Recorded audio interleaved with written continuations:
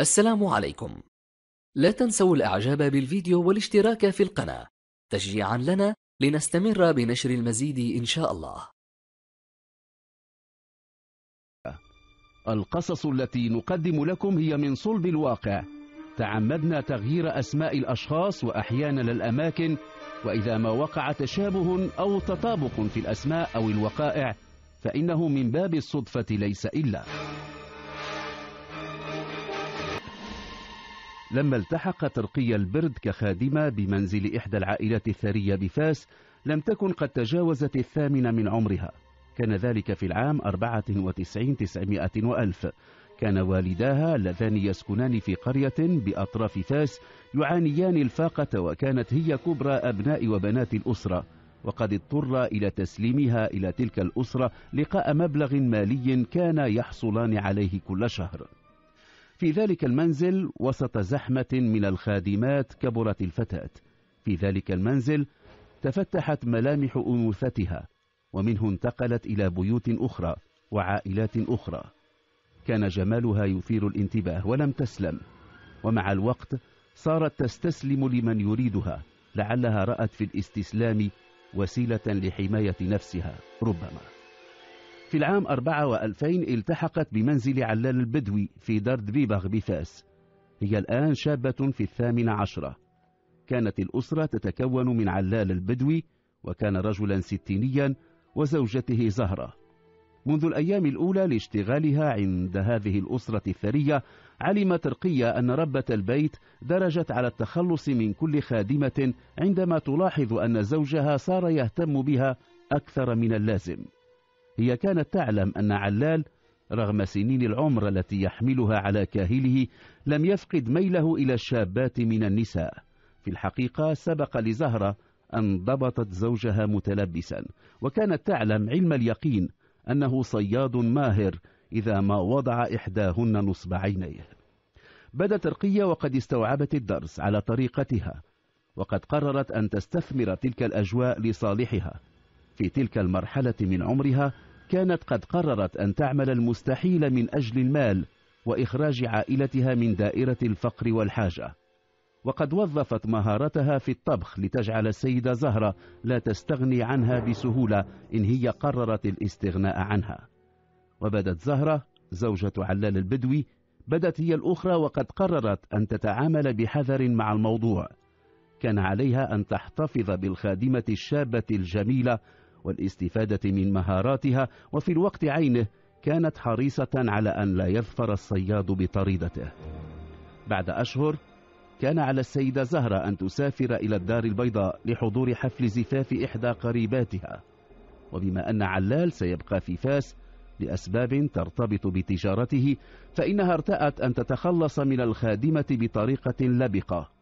قالت لرقية أن تأخذ عطلة من بضعة أيام تزور خلالها والدتها وإخوتها في البادية خاصة وأن والدها كان قد توفي منذ فترة ليست بالبعيدة.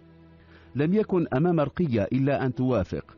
وقد حرصت زهرة على أن ترافقها إلى المحطة الطرقية حيث شاهدتها وهي تركب الحافلة التي ستقلها إلى قريتها. اطمأنت زهرة وذهبت هي لتركب الحافلة التي ستقلها إلى الدار البيضاء. ولكن حدث ما لم يكن في حسبانها. نزلت رقية من الحافلة ومضت تتجول في المدينة وفي المساء عادت إلى المنزل. طرقت الباب. فتح علال قالت له إنها نسيت أغراضا لها في غرفتها وتريد أخذها. سمح لها بالدخول وعاد إلى الصالون حيث كان يتابع مسلسلا تلفزيونيا. لم يدري كم مر من الوقت ولكنه لاحظ أن الخادمة الشابة تأخرت في غرفتها. وبينما هو كذلك خرجت عليه وقد تزينت. لم تكن ترتدي شيئا. كانت موقنة أن الستينية سيقع في فخها وكذلك كان. قضت تلك الليلة والليلة التي بعدها في فراش سيدتها. في اليوم الثالث قال لها علال إن زهرة ستعود من الدار البيضاء.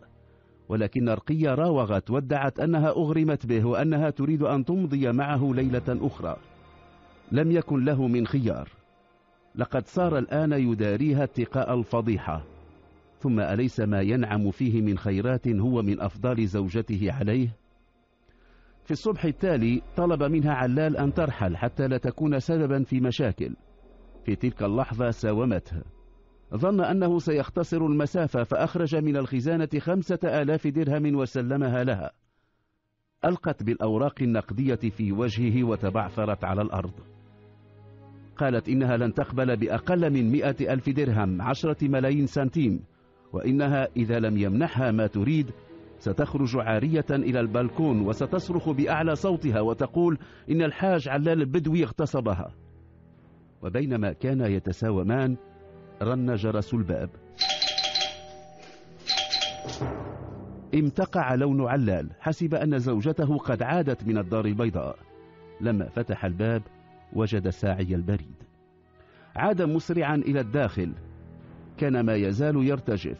دخل غرفة النوم فتح الصندوق وأخرج عشرة ملايين سنتيم وسلمها لرقية. وضعت المال في حقيبتها ثم قبلته على وجنتيه. أغلق الباب وانهار على الأريكة. كان في قرارة نفسه يلعن اليوم الذي أبصرت فيه عيناه رقية. سافرت رقية إلى قريتها. سلمت أمها نصف المبلغ واحتفظت بالنصف الآخر. بعد أيام غادرت القرية وسافرت إلى طنجة. كانت عازمة على التعاطي للدعارة. اشترت ملابس أنيقة تظهر بها وكأنها بنت عائلة ثرية. كانت قد اكترت غرفة مفروشة في وسط المدينة وكانت تفضل التعامل مع كبار السن. رأت أنهم يدفعون بسخاء. كانت كلما خلت إلى نفسها تحاول أن تجد تبريرا لما تقوم به في حرصها على مساعدة إخوتها على مواصلة الدراسة وإخراج والدتها من دائرة الفقر. بعد أشهر استطاعت أن تجمع قدرا من المال لا بأس به ولكنها لاحظت أن تحركاتها مراقبة من أشخاص حسبتهم من رجال الشرطة أدركت أنها لم تعد نكرة ولذلك قررت أن تنتقل إلى مراكش.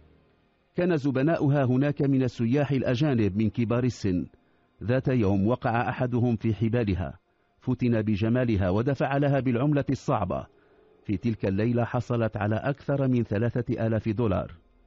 في مراكش استطاعت رقية وقد غيرت اسمها إلى مريم استطاعت أن تكون ثروة. عادت مرة إلى قريتها كانت تغدق بسخاء على أمها وإخوتها وأفراد آخرين من العائلة.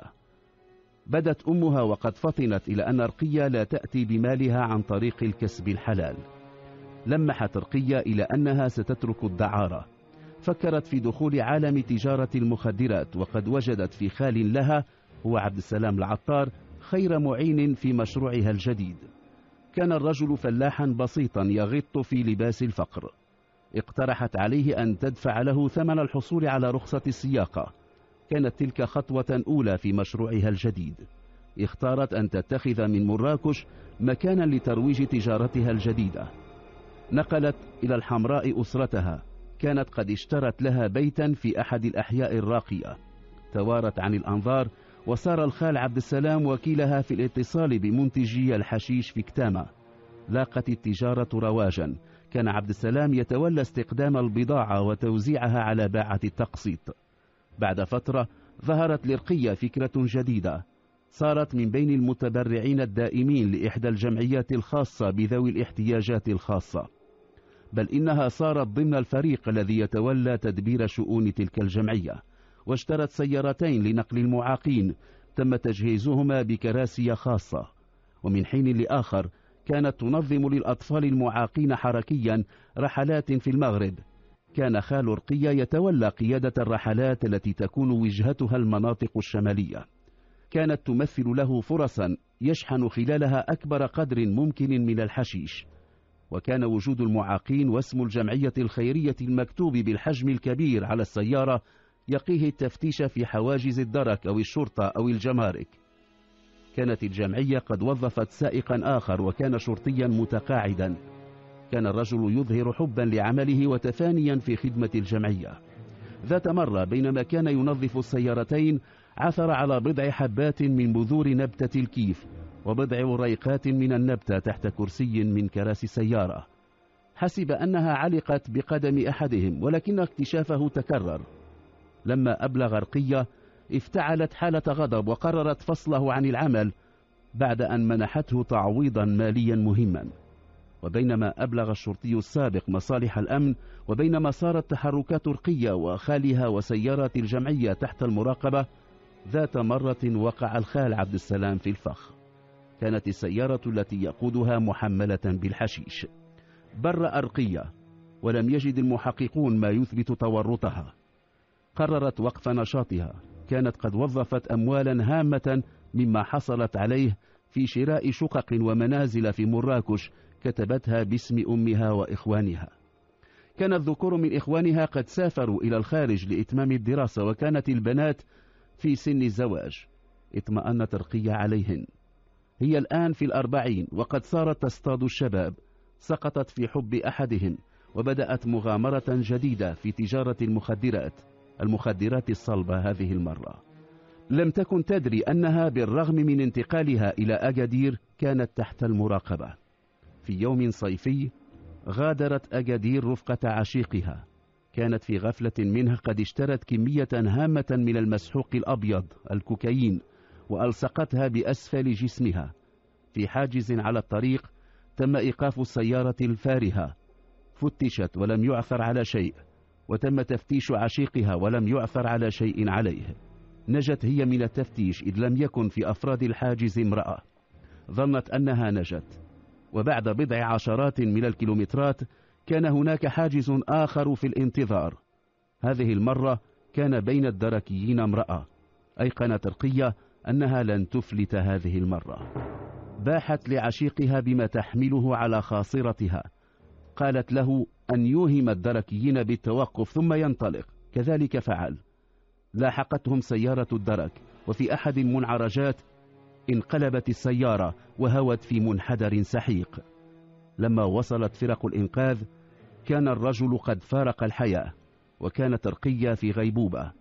نقلت إلى المستشفى. هناك لما جردت من ثيابها اكتشفت أكياس المسحوق الأبيض ملتصقة بأسفل جسمها. كان على الباحثين أن ينتظروا شفاءها لاستجوابها. يوم أفاقت كانت فاقدة الذاكرة. لم تعد تتذكر شيئا. أثبتت الفحوص الطبية أنها فقدت ذاكرتها. أمر وكيل الملك بحفظ الملف إلى أن يجد جديد. إن أعجبك الفيديو لا تنسى الإعجاب والاشتراك في القناة.